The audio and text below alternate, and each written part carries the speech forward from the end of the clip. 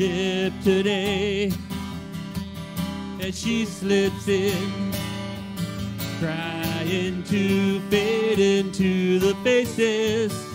The girls teasing laughter is carrying farther than they know,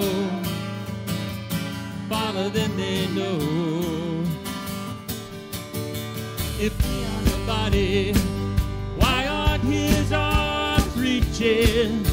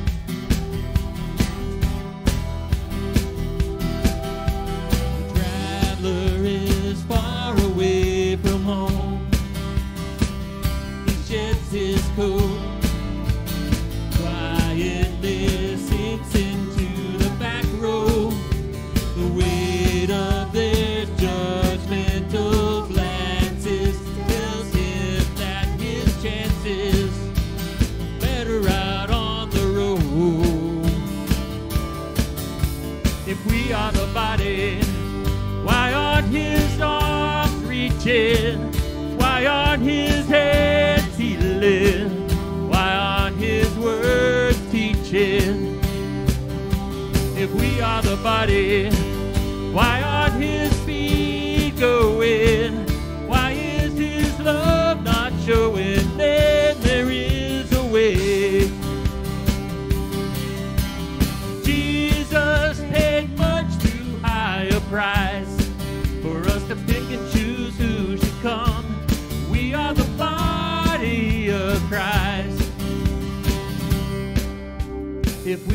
body, why aren't his arms reaching?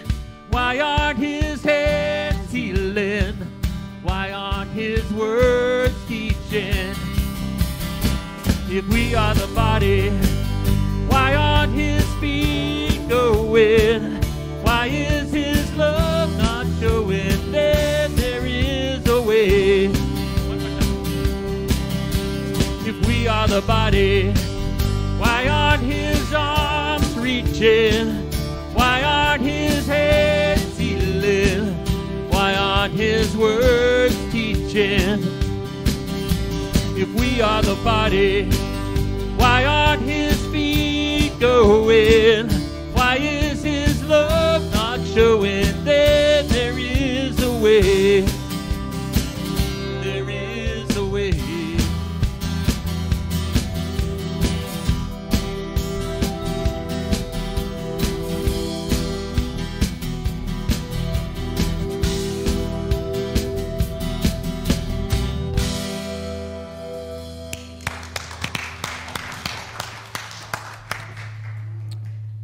Good morning to you.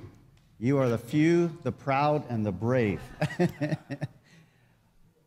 well, we've got some people that are sick today, so we're going to pray later. And I know some people have fears about the coronavirus, but uh, you're here, and that's what's important. I love that verse where Jesus said, Where two or three are gathered, he is there. And so the Holy Spirit is always here, but Jesus is here with us too. And it's so good that you are here today. We have a very special guest speaker today, my friend and colleague Larry Rice. Larry Rice is the executive minister or director of Redwood Campground there in close to San Jose, and he's going to bring us a really great message and then share a little bit more about the camp afterwards. And then we have a special close with the kiddies. That's going to be our closing song. So uh, stay the whole time because that's, that's going to be really good too. And so Joanna here is going to tell you more about the day. Hello, everybody. Can you can you hear me okay? Can you hear me okay?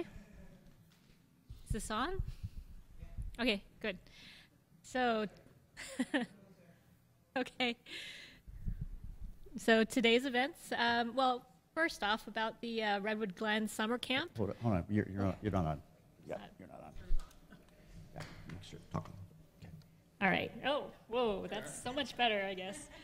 Uh, so to talk a little bit more about the Redwood Glen summer camps, um, you know, we will have a booth outside or a little table outside so that you could come out and uh, find out more about that. Of course, uh, you know, the age groups are a good range. Not quite for this one yet, but uh, eventually, you know, I'm excited to look, check it out because I'm sure it would be a great place for my child to develop. So I encourage all of you to, with your young ones, to go ahead and explore, and that will be out um, just on the patio. There will be a little table um, to talk a little bit more about it. Also, um, you know, with that as as um, Pastor Tom had mentioned, it's not that far away. It's only about an hour, hour and a half away. So, you know, the kids are still close enough, and um, mommy and daddy get some time away. so, look forward to that. Uh, also, we have some of our usuals, which are always wonderful events to have. Um, this Monday, of course, uh, tomorrow we have our 1 p.m. hour of prayer. Uh, everybody, of course, is always welcome to that. Um, this Friday and Saturday, uh, we have the Bass workshops, which are in uh, Castro Valley. Of course, we're organizing groups for uh, traveling down there because, of course, it is uh, in Castro Valley, so it's a little bit of a, a trek. But, you know, we have the people, we have the resources, and uh, if you're interested, please put it on your connection card, and, you know, we'll be happy to help organize uh, the transit to get down there. Um, I know Dorothy is heading that up, so thank you very much, Dorothy. Uh, let's see. And we also have brochures for that out in the patio as well. Something to remember uh, next Sunday, time change. Everybody is always excited about that, right? Spring forward. no, we're springing forward, no falling back. Spring forward, uh, which means you get, get to worship an hour earlier. yeah! Right? That's what it's about, you know? We get to worship an hour earlier. So please remember that. You want to spring forward for next Sunday. Yeah, you, you, you do not want to be the one walking in at 11 o'clock. but if you are, it's okay. You're still welcome. and something extra special a few weekends from now. Um, you know, we're going to have a special Sunday worship, March 22nd. Um, special praise and worship event. Uh, Trayvon Williams. Uh, he is related to Wally and Sherry, right? Um, Son in law, okay. Don't hold that against him. No, okay. Uh, but it's going to be a wonderful event. Um, it's going to be the whole service. Uh, you know, they're going to bring, uh, you know, as it says, a 12-member ensemble. So it's really exciting time uh, to come. It'll be a, a, little bit different than what we usually do around here. Um, and we also, inside your uh, little uh, brochures for today, there should be a little card a little church on the corner, like a general um, introduction card, which would be great if you could hand them out to people that you come across that might be interested to come to this event. Have them bring it to this event so that they could kind of say, hey, you know what, somebody invited me. So it's kind of like a little bit of an extension. And they're cute little cards. I mean, it explains where we are and that there's also free coffee and childcare, which, you know, gives everybody no excuse to, you know, not come. But anyway, uh, that's something to look forward to. And also, there will be a brunch following that, which we encourage everybody to uh, bring some wonderful dishes for and bring a little bit extra because we expect it to be a pretty full event this time. Um, not that our other events aren't full because they are, uh, but this time we expect there to be a good representation. So please be generous with uh, what you bring, your dishes, and uh, we always look forward to a great time for that. Is it? That's it. Yeah, we, we hope you'll be around. Am I on? We, we, we hope you'll, we hope you'll be around for that. Oh. well, you might have me and another one around, but it just won't be here. It'll be from a distance. But Okay, am I on now? I'm, I'm going through this mic here, Peter. Okay, good. Okay, well, it's a new month. We have a new reading. It's called Psalm 85, verses 8 through 12. Listen along, it's really uplifting. And it goes like this, and it gives us a, a, one more reason today uh, for a call to worship, why we come to worship our God. It goes like this, starting in verse 8. I listen carefully to what God the Lord is saying, for he speaks peace to his faithful people. But let them not return to their foolish ways. Surely his salvation is near to those who fear him, so our land will be filled with his glory. Unfailing love and truth have met together, righteousness and peace have kissed. Truth springs up from the earth, and righteousness smiles down from heaven. Yes, the Lord pours down his blessings. Our land will yield its bountiful harvest.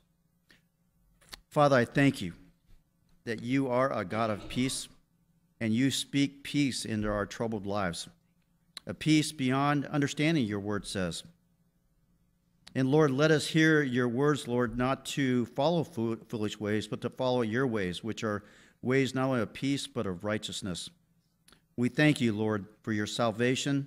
And Lord, we know that as people come to faith, that more fills the earth with your glory. And Father, we thank you so much that while you are God of peace, you are also God of righteousness. There is a right way, your way, and that you are a God of truth and Lord, we thank you that even today, right now, you are smiling down on this group of people, your faithful people, the people that have come to worship you once again this week. And we thank you, God, that you are giving God, a God that loves to bring blessing upon his people. So, Lord, we thank you already for what's going to happen today. I pray, God, with these words from your word, that, Lord, they will renew our faith, lift our spirits up, God, and allow us, God, to worship you in a new, deeper, profound way because we now know that much more about the great and the good God you are. You are the only God. Any other God is human made from what you had already made. You are a true living God who has been forever in the past to forever in the future. And we thank you, God, that you have chosen to reveal yourself to us and then redeem us from our sin. I praise you and I thank you. In Jesus' name, amen.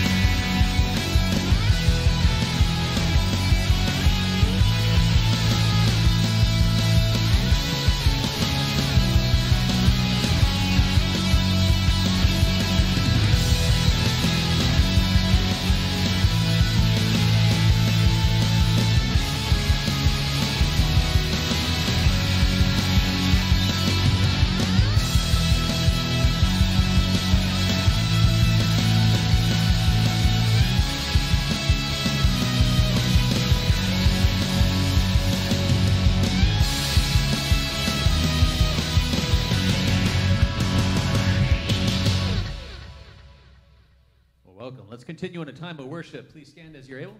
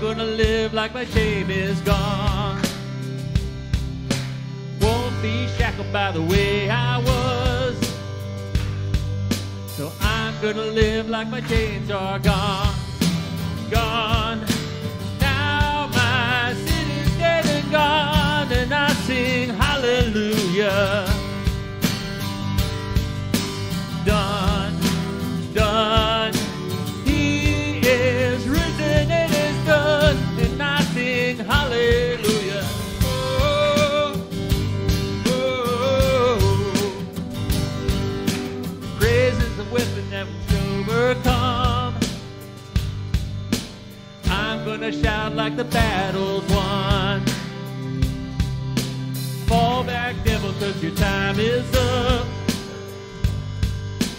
I'm gonna live like my shame is gone, gone.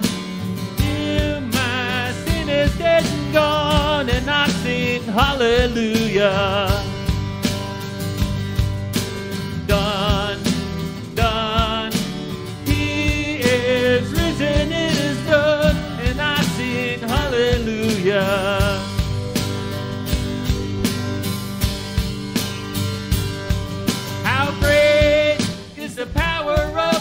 Of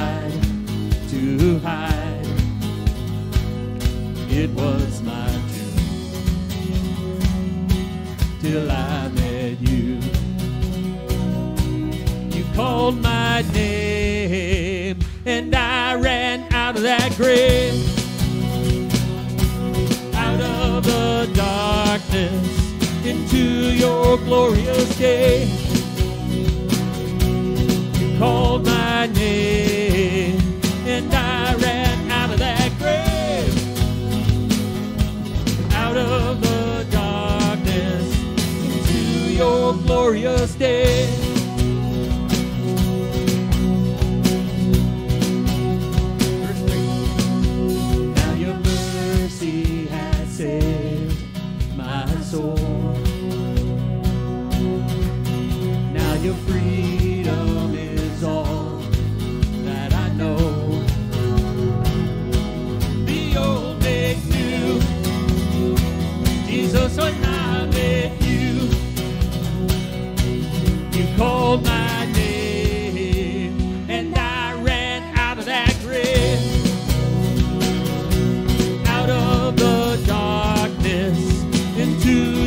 glorious day. You called my name, and I ran out of that grave, out of the darkness into your glorious day.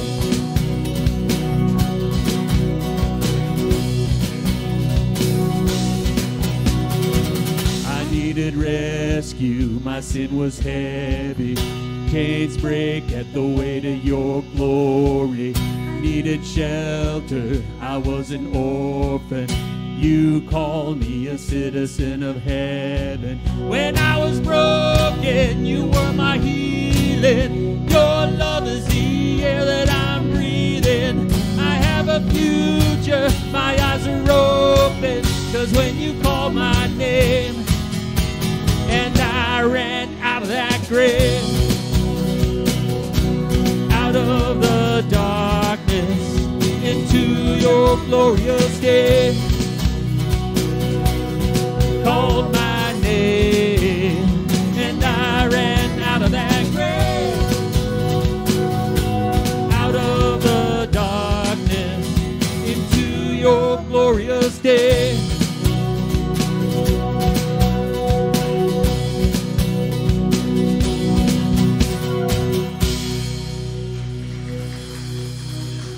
Seat.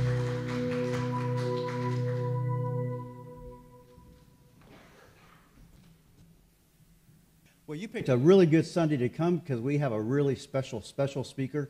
I mentioned him a little earlier. His name is Larry Rice. He, he is the executive director of Redwood Campground there down in Redwoods, close to Pescadero, about an hour and a half away. My first experience with Redwood Glens was my home church in Daly City before I was called to be the pastor here. That was part of their tradition was to go for a full week and the whole uh, church family to go to Redwood Glens. And it was just an amazing time, and I've just loved that place ever since. And we've been blessed to have Larry come and speak and have some of our youth go. And so Larry is back, maybe perhaps for his last time, because he's going to retire. Yay. And he has left the camp in very, very good shape. And so he's here today to bring a message, but also share a little bit about why you may want to consider sending your youth or children to Redwood Glen or share that same information with other people.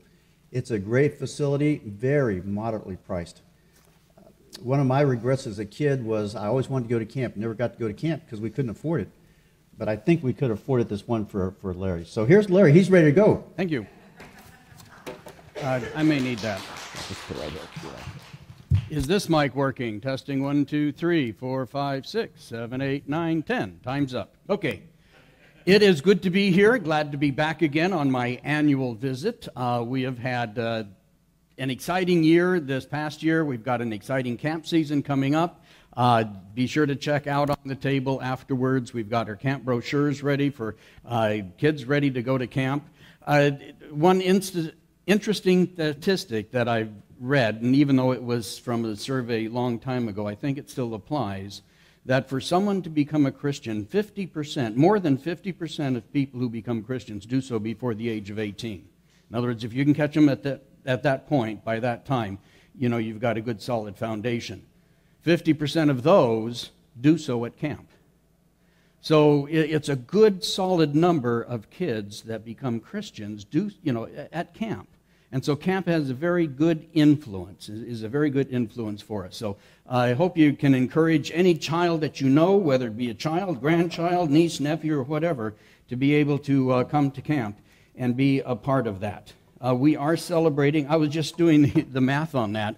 It, it, I was here a year ago and we just got the uh, water problem that we had taken care of and everything. It has been today one year, one month, one week, and one day when we got the water problem taken care of, that we had our water situation fixed. So it's, it's, been, a, it's, it's been an exciting year. We're still having issues. And, and again, pray for rain because we are dependent now upon that rainwater to be able to fill the creeks that we, we get our water from. So it's, it's, uh, it's good to, to have that. Um, and if you are at Bass, uh, we'll have a table set up, so be sure to, to look for us on, on that.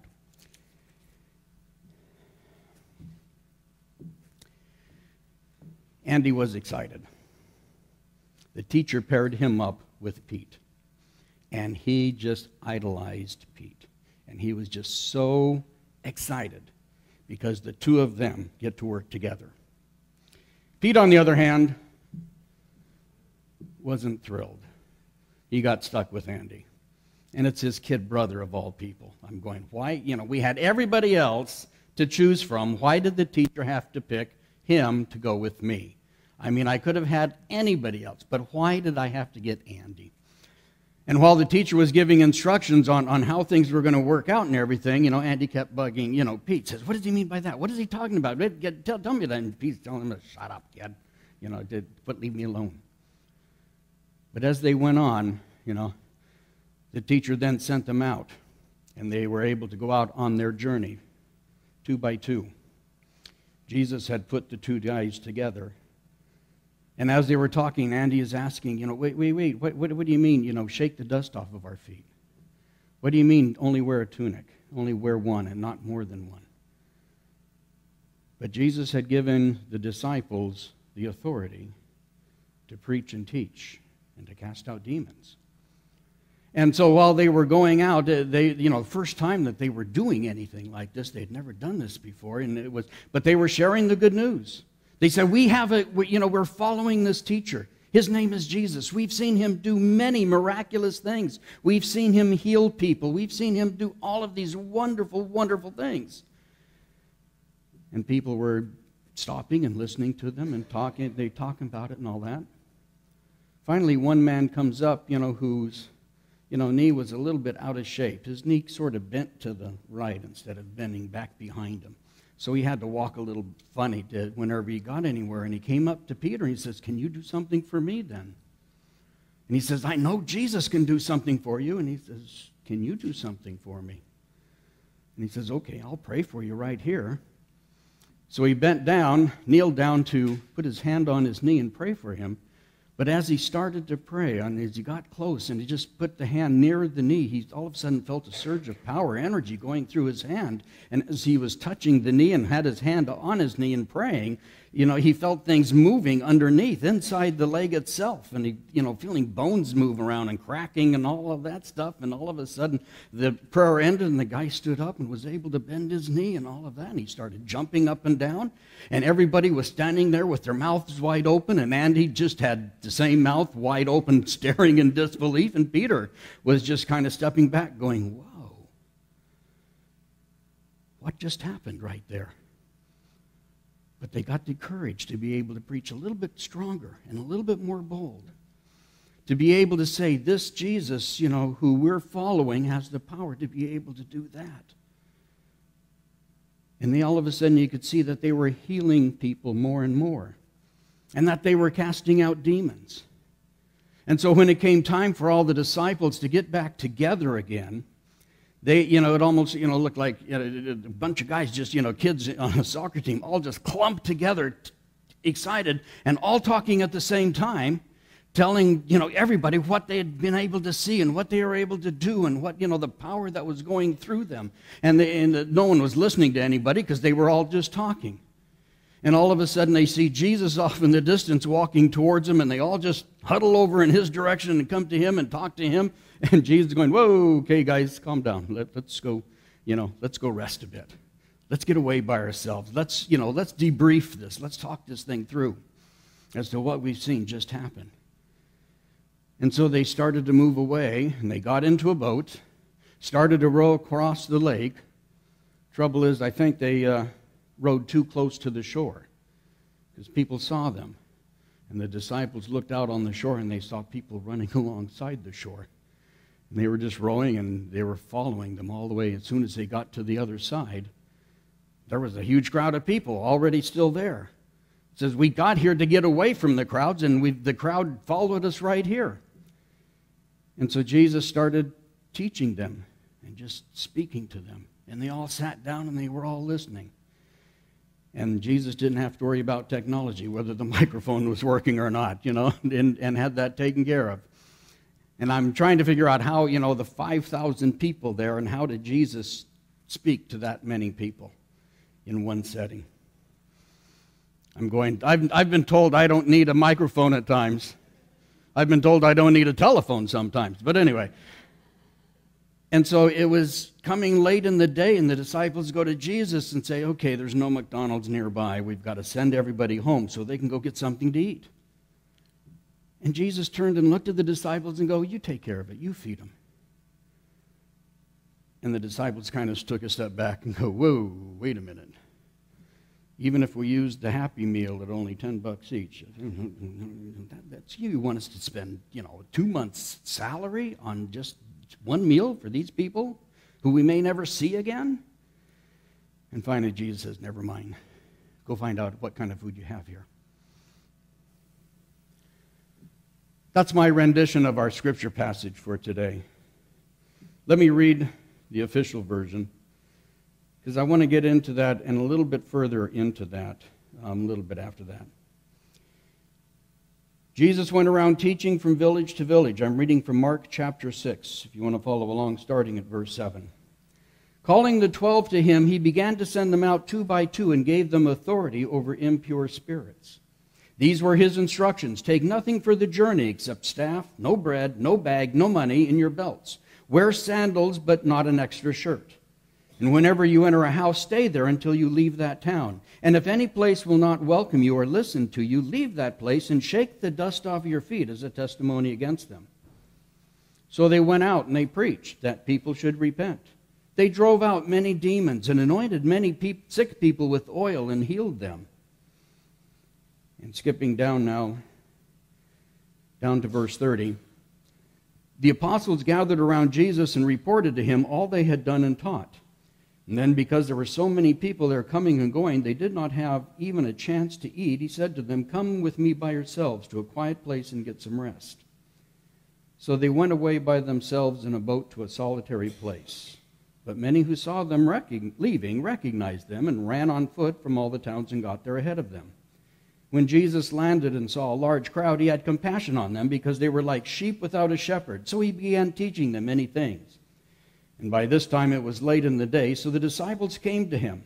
This is a remote place, they said, and it's already very late. Send the people away so they can go to the surrounding countryside and villages and buy themselves something to eat. But he answered, You give them something to eat. That would take more than a half a year's wages. Are we to go and spend that much money on bread and give it to them to eat? How many loaves do you have? He asked. Go and see. And when they found out, they said five and two fish. Let's pray real quick. Father, teach us through your word today. Give us ears to hear. Give us a mind to understand and know what you have for each person here. May the words of my mouth and the meditations of my heart be acceptable in your sight. O Lord, my strength and my Redeemer. Five points I want to make from this passage today. And I'm speaking mostly to Christians. If you're not a Christian, you don't have to listen, but it would be good for you to listen anyway. But I'm speaking mostly to Christians because I want to say point number one if you really want to be a disciple of Jesus, he expects you to minister. Okay? He expects you to minister.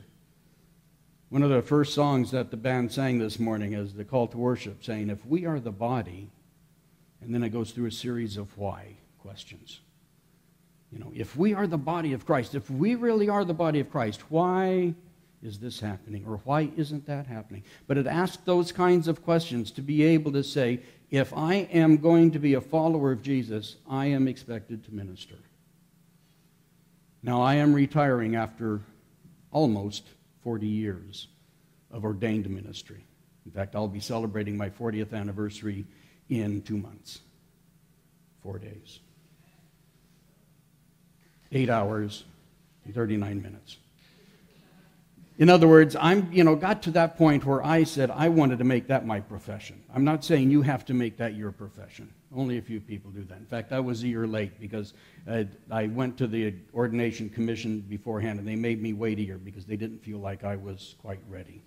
You know, it was, it was that kind of a thing. Say, yes, I am ready. But it's that whole idea that if Jesus says if you want to be a follower of him, he expects you to minister. He wants to send you out.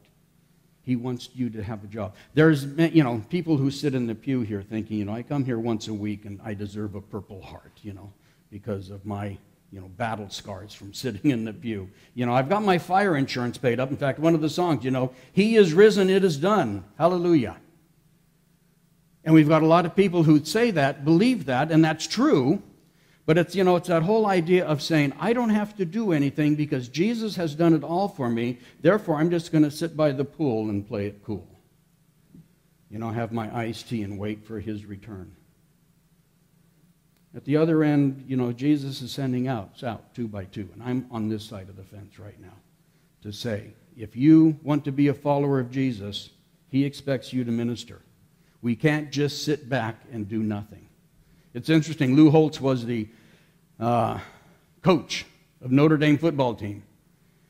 And for six years, excuse me, seven years, they were the number one team in the country. This is before they had the championship series and determined who was number one. And it was always voted on. And they were voted number one for seven years in a row. And then in the eighth year, they became number two. And all of a sudden, you know, the whole media was thinking, oh, the world's falling apart at Notre Dame. They go to him, why? What happened? And, but he, you know, gave a good, honest answer. He says, I became complacent. I just got to that point of saying, eh, we'll do the same thing. And it's good enough. And it wasn't quite good enough to be, you know, number one the, that next year and all that. My dad had surgery, and this was about five years ago, four and a half years ago, that he had surgery. He had to have a tube put in his stomach, so he's fed all the time, uh, you know, through, through the tube. And after the surgery, you know, we, we had him sitting, and I was asking him, How are you doing now? And he says, I'm just sitting here waiting to die. That woke me up. I'm going, No, you're not. We're going to get you up and moving. And he's still alive today. Turned 90, he will turn 96 in November you know, still going strong, still going busy, you know, keeping busy and keeping his mind awake and, and everything, and he's doing very, very well. So, and his goal is to make it to 100. So uh, we're, we're excited with, with where he's going. So it's number one, if you want to be a follower of Jesus, he expects you to minister. Point number two, don't do it alone. Don't be that lone ranger to say, hey, I can do this and I can handle it myself. But Jesus sent everybody out two by two. Do it, find at least one other person to be able to sit down and talk to or talk with, and to be able to go out and minister together. Whether even if it's just the two of you praying together, whether it's the two of you going out and sharing your faith with someone else. Ecclesiastes chapter 4, verses 9 through 12 says, Two are better than one because they have a good return for their labor. Because if either of them falls down, one can help the other up. Pity anyone who falls and has no one to help them up. And if two lie down together, they will keep warm. But how can one keep warm alone? Though one may be overpowered, two can defend themselves. A cord of three strands is not quickly broken. So don't do any of this by yourself. Make sure you find someone to, to be able to work together with. Point number three take time to rest. This is where Redwood Glen comes in, and I'll throw in that commercial to say Redwood Glen is a perfect place to be able to go and just get away. Um, you know, I can't have you come by yourself. At least I don't have a place for you to stay by yourself because we, we serve groups. And we have camps during the summer, and we serve groups. So if you have a prayer study group that wants to come and you know stay in one of our lodges, that'll be fine. We've got 160 beds there, um, excuse me, 260 beds there. Uh, we can handle 60 people in the conference center, which is hotel style rooms. Uh, you can, you know, two double beds in each room with your own private bath and shower and all that. Uh, we'll take good care of you. We'll feed you. We'll uh, give you, you know, all the sports areas that we have and hiking trails and all of that. If uh, come to Redwood Glen, it's a good place to get away, a good place to rest. Okay? Yes. But if you can't make it to Redwood Glen, still get that rest. Make sure that you take that time. And this is the sermon that I have to preach to me all the time. Okay? It's, it's one that I, I have trouble sitting and watching television. Okay? I just can't sit still. I'll, I can I'm, I'm always constantly getting up and doing, you know, coming in and I'm walking in and I'm asking Sharon, how did it end? Who was the killer? Who, who did the thing? Or who won the baking championship? Or whatever it is we're watching at that time. I'm always asking Sharon to fill me in with what I've missed because I've gone out in the back and done some work or whatever I'm doing there. But be sure to take some time to rest. Point number four, and this is where I want to I want to spend a few moments on is know and understand that you are a reflection of Christ. You are a reflection of Christ. At Redwood Glen, our staff motto is reflecting Christ by serving others. In other words, we want people to see us, and when they look at us, that they see Jesus. There's a song that was written about 30, 40 years ago when I first got into ministry that says, You're the only Jesus some will ever see. You're the only words of life that some will ever read. So let them see in you the one in whom is all that they'll ever need.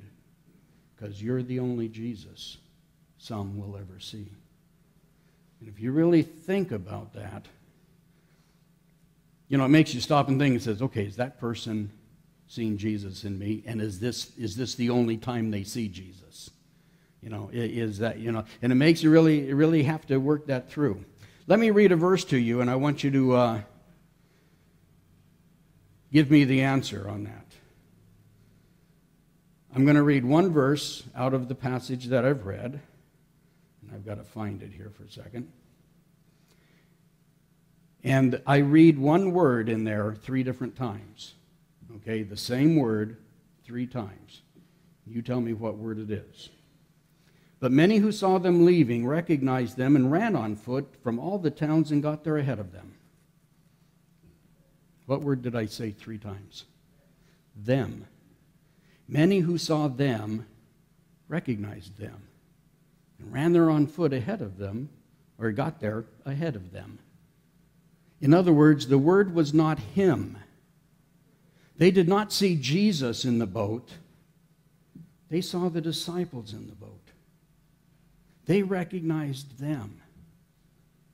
Part of the story that I left out was Andy, you know, as they were riding in the boat, Andy nudges Peter and says, points out to the shore and sees the one guy that he healed with the knee, and he was running faster than everybody. You know, they recognized the disciples and got there ahead of them. And it's important to know and understand that it is you that they see Jesus. Or the question I ask, do they see Jesus? Goes back to your first song. It says, Why don't they see Jesus in me at times? What is it that I'm doing or not doing that they don't recognize Jesus in me? But for the disciples there, they were the ones that it was, you know, they saw Jesus. And we are that reflection of Christ. And last point that I want to make, again, is to know and understand your capacity for ministry. Okay? In other words, if you stand up and say the announcement, that's one of the, that's one of the things of ministry, but that's not all. To be able to stand up and be part of the band, yes.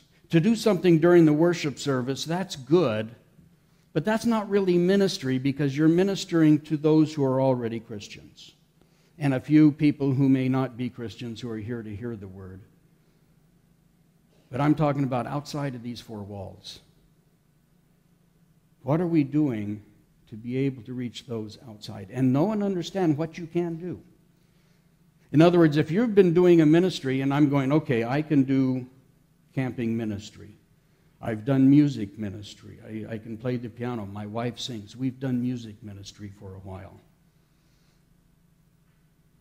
I'm ready for something different, ready for something new. But it's like, okay, what is it that you can do that you can step out and do something different? Do something new. Stretch yourselves. It's like Peter had to come to that point of healing his first person.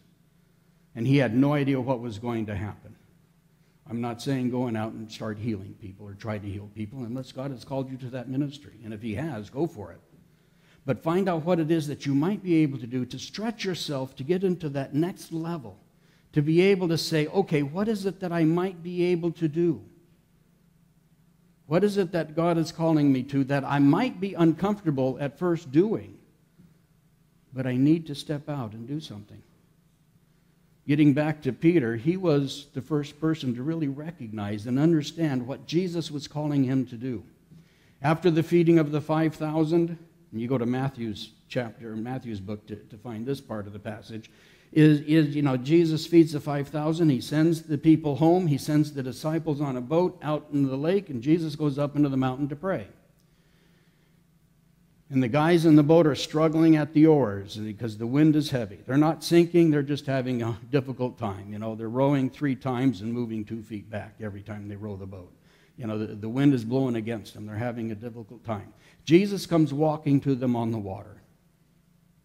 And the disciples scream in terror. You can imagine the Keystone Cops each trying to push each other, you know, trying to get to the back and pushing.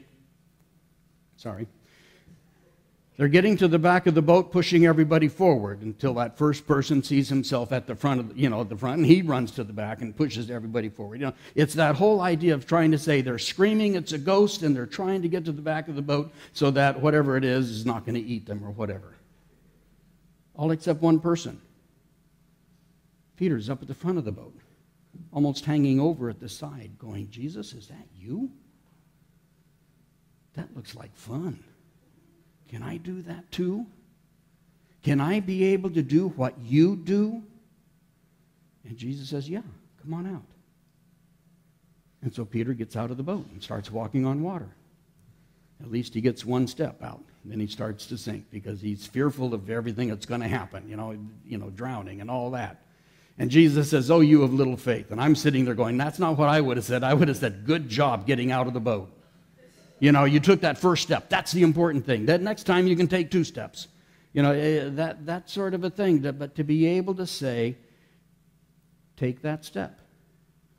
What is it that getting out of the boat means to you? What is Jesus saying? Okay, here's what I want you to do to take that step out of the boat.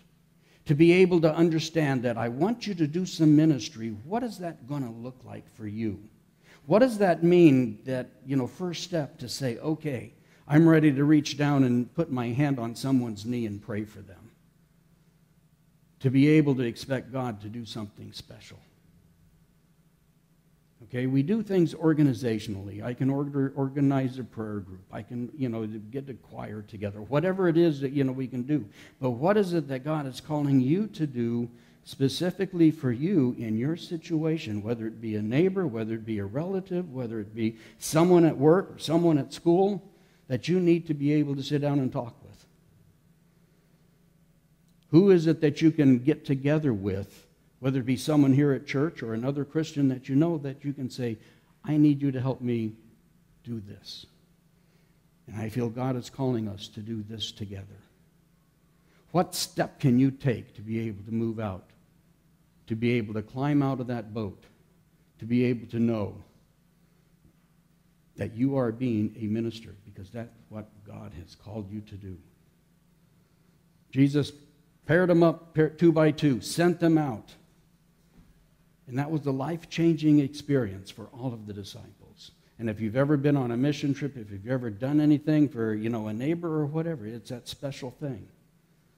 We're trying to get ready to move. We're trying to pack the house up so that we can get it, you know, boxed up. And we're moving to Florida because that's where our son and daughter in law are at. And she's expecting her firstborn in, in July. And so we are just thrilled to pieces on that. And we're just busy as all get out to try to get everything put together. And our neighbor upstairs in our condo comes down and says, You know, my daughter's just got this neat little uh, um, fish, yeah, fish tank and everything. Can you build a table for them? Sure. I'll be happy to. You know? And I'm not just throwing stuff together. It's got to be, you know, perfect for me. And so I'm building that and hoping I can get it finished in the next few days, sometime this week, so I can, you know, take it up to them and be able to say here. Because I don't want to say no when I have a chance to be able to share. They, they go to an Episcopal church whenever they go to church. You know, that, that kind of a thing. So they, you know, I, I know they believe in God. I have no idea where their faith is at. But it gives me a chance to be able to minister in a different way because that door was open for me. And I want to be able to do that. Where is God opening the door for you so that you can minister to someone else? Let's pray together.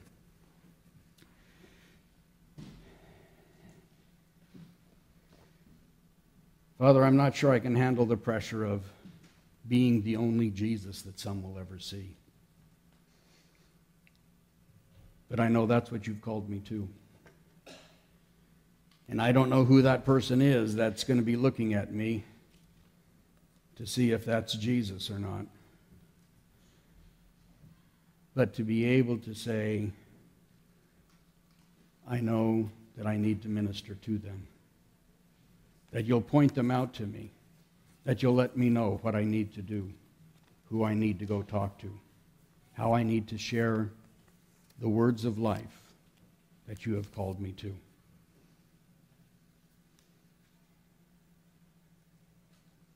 Lord, as I begin a new era of ministry, no longer in the ordained ministry, no longer in the paid ministry, but that I can become a regular church member someplace and that you'll show me how and where I can minister to others. Don't let me sit back and just say, okay, I'm retired now. But give me those opportunities and give me the ways to see what you have for me. And for each person here, Lord, speak to them, move in their hearts, open their eyes so that they can see who they need to see, who they need to talk to, who they need to connect with to be able to be proper ministers for you. In Jesus' name I pray. Amen.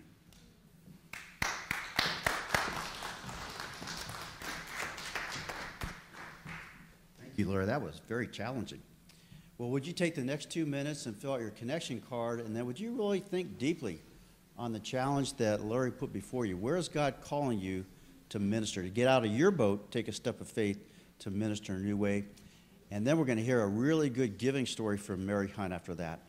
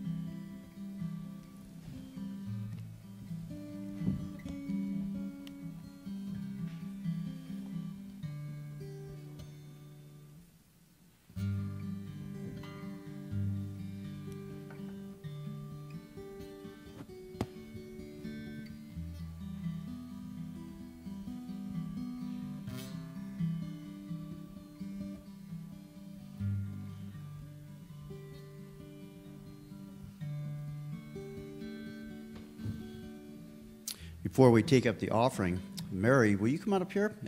Mary went to a really special seminar yesterday along with Laura Derisi. Laura's sick, Laura's sick this morning, but Mary's going to share with us about this conference. And while it was free, because we are a church, we got to know about it. And your giving makes that possible. And we had two of our women go.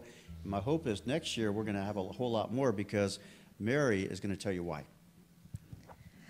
Yeah. Um, so the conference I went to yesterday with Laura uh, was called Worthy. Um, and if you all remember uh, Quincy, who worships with us, his girlfriend told us about it a couple weeks ago.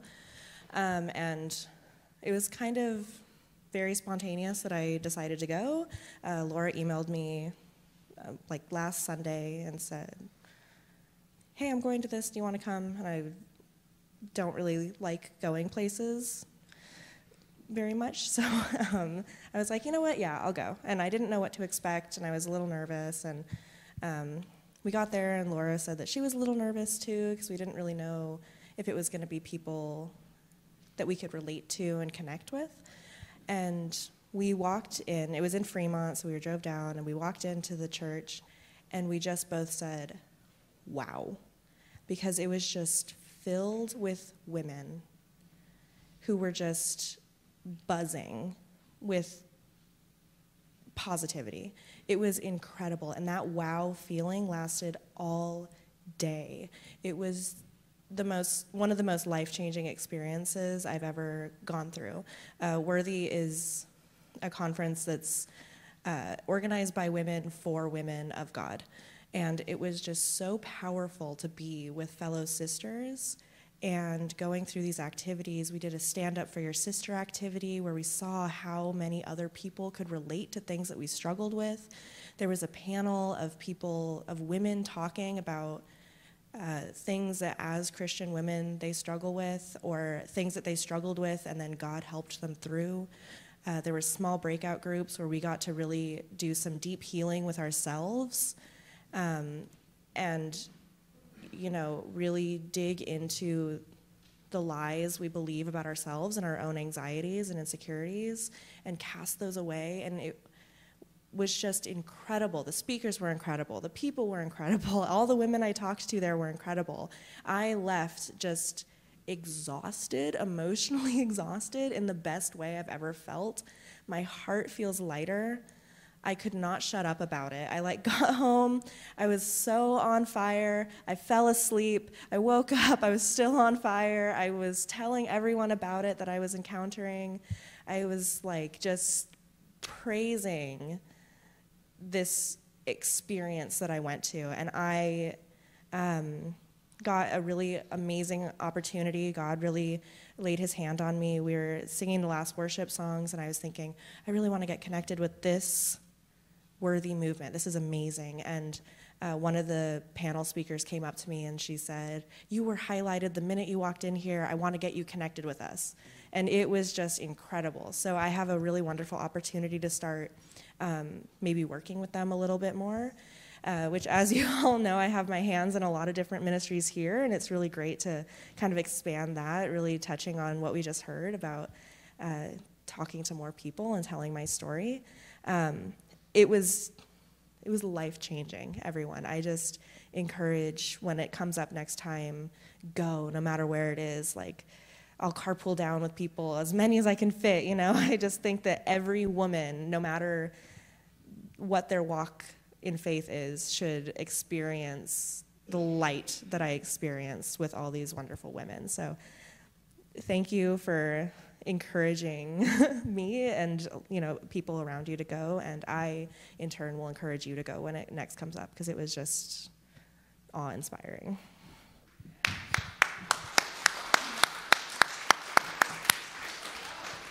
We're just going to pray for you right now that you can get connected. Uh, you know, this almost didn't happen today, and she came over before the start of service and said, could she share? And I had no idea what she's going to share, but oh my goodness, that is so encouraging. So thank you. So we're just going to pray for you, okay? Because, uh, yeah, we see that in you too. So, Lord, we just lift up Mary. Thank you, God, she went. She, she got out of the boat, she got out of her comfort zone. And God, you have blessed her richly. And God, we know this personality you put together is God, you're going to extend that far and wide. So we just ask you to open the doors for her. Uh, what a blessing she has been to us. And we just pray, God, that you will provide the way. And we thank you, God, it's so important for our, our young millennials to be able to take uh, their place at the table and have a voice and begin to be a part of the ministry, God. So thank you that this young woman is taking her place at this time. We pray in Jesus' name. Amen. Proud of you. Proud of you. So we will go ahead and take up the offering now, if you would please.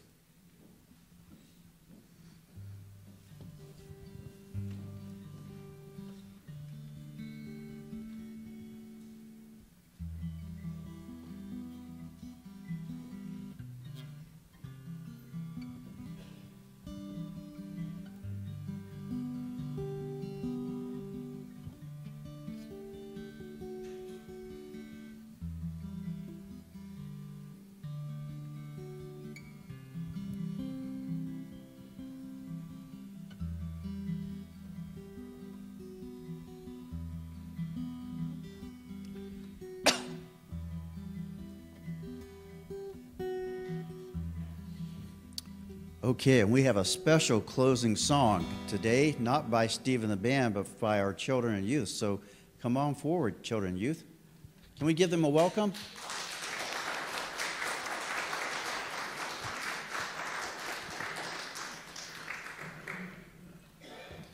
So, do you guys want the microphone? Here, Damon, take the microphone.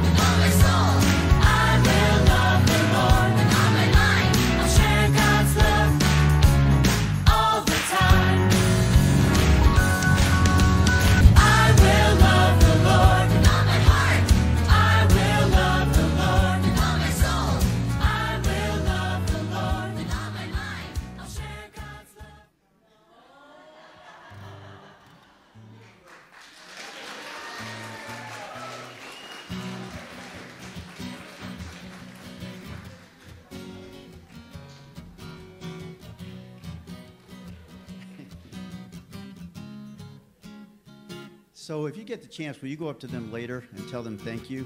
They have been very nervous. I had to go up and give them a little pep talk. And so could you uh, let them know how much you appreciated that? Just a couple things is this is your home church and you see someone you don't know, would you take that bulletin to them and share with them different ways? We've got a lot of things going on and help them get connected. Hang around for some coffee. We don't have anything going on. This is an open Sunday, very rare for us. So no need to rush out, just uh, get a chance to enjoy one another. Would you make sure to use your invite card to invite someone to the March 22nd Trayvon Williams Ensemble event? It's going to really be great, plus followed with uh, a brunch after that. And now, let me bless you as we go.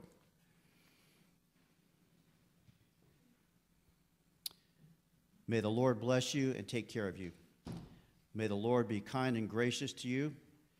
May the Lord look on you with favor and peace. Go beholding God, beholding you, and smiling in deep, deep delight. In the name of the Father, the Son, and the Holy Spirit, amen and amen.